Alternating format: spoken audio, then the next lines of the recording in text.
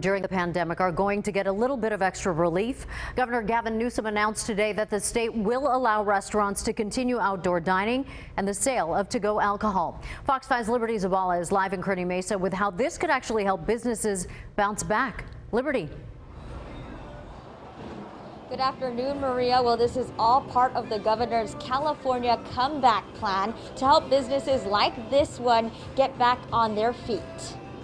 Cross Street Chicken and Beer in Kearny Mesa says it took a 20% hit in sales during the pandemic. Being forced to shut down or being not able to operate confused our clients and it didn't help us at all. Um, it just made it more difficult for us to serve our community. The governor is now pushing his California comeback plan to help hurting businesses through relief grants totaling $4 billion. The state is also allowing restaurants to continue outdoor dining and to go alcohol sales. It's going to be a huge help for us, especially we got hurt the most during this whole pandemic, so we're in the ongoing recovery mode. So we're trying to recuperate the losses that we had to deal with uh, in 2020.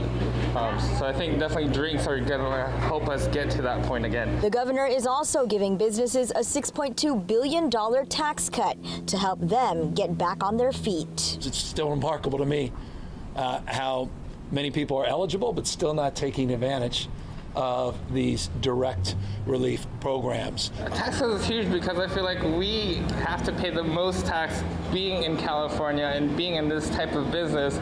We get hit very hard and we're always trying to figure out ways how we can help ourselves in that situation. And the manager here says the extension of the outdoor dining here as well as the sale of to-go alcohol is a major help and this extension will remain in place until December of this year. For now, live here in Kearny Mesa, Liberty Zabala, Fox 5 News.